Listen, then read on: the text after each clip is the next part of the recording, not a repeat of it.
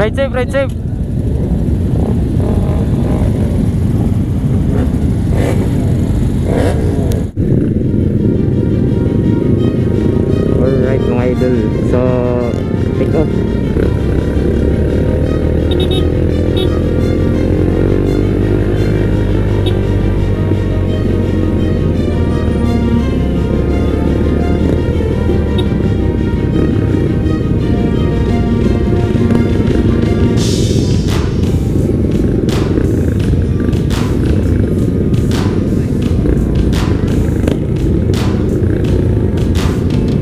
So, shout out sa mga kapulisan o mga rescuer.